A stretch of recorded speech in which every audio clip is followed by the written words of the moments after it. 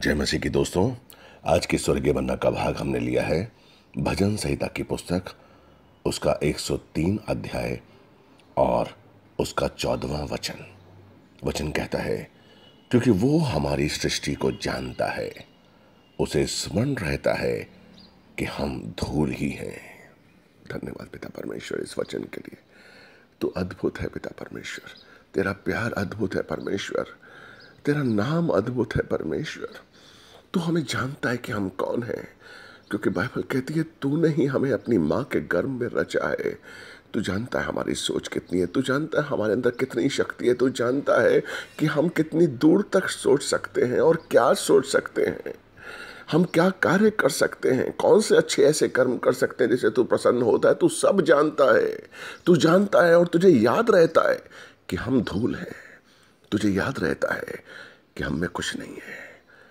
दोस्तों कभी कभी हम सोचते हैं कि हम ऐसे काम करेंगे, या हमने ऐसा काम कर दिया है कि परमेश्वर न्याय करेगा। परमेश्वर हमें सज़ा देगा। परमेश्वर हमें सज़ा देकर हमारा न्याय करेगा, लेकिन हम गलत हैं। वो क्या न्याय करेगा? वो किसका न्याय करेगा? वो जानता है कि हम धूल हैं।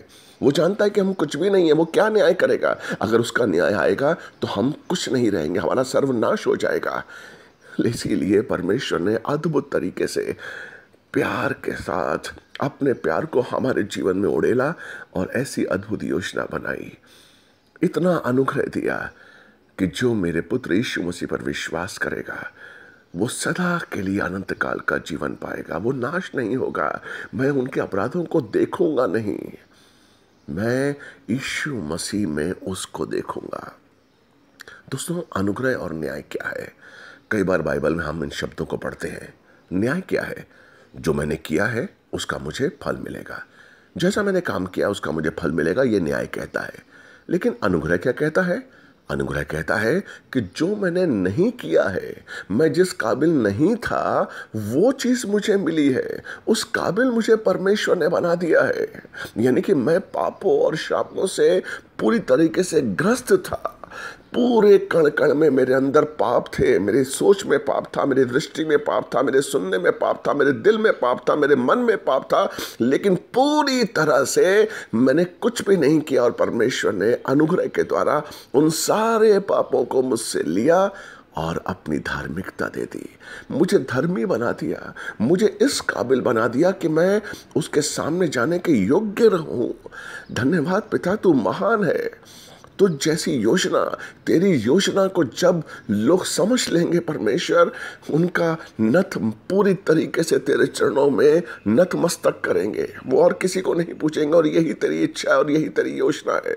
धन्यवाद पिता परमेश्वर, तू महिमा और आदर के योग्य है। तूने हम पर इतना अनुग्रह किया, इतना हम धूल थे, हम धूल हैं, लेकिन तूने हमें हाँ तूने हमें वो महिमा दी, वो मुकुट पहनाया। यस लॉर्ड धन्यवाद, पिता परमेश्वर। तेरी उपस्थिति का आशीष। बाइबल कहती है, पहला क्रंथियन दस तेरा कि तू किसी ऐसी परीक्षा में भी हमें नहीं डालता है, जो हमारे सहने से बाहर होगी। तो महिमा तू जानता है कि हम परीक्षाओं को नहीं सहन कर सकते हैं। इसलिए तू हमें अपने हाथों में, अपने हाथों में लिए चलता है। इसलिए तूने अपना, हमारा नाम अपने हाथों में लिखा हुआ है। इसलिए तू हमारे बालों की गिनती जानता है। जब हम रात को सोते हैं तो हमारे पास आता है और हमारे माथे को, माथे पर अपना हाथ रखते हुए सहलाता है और बताता है कि मैं हूँ बच्चे।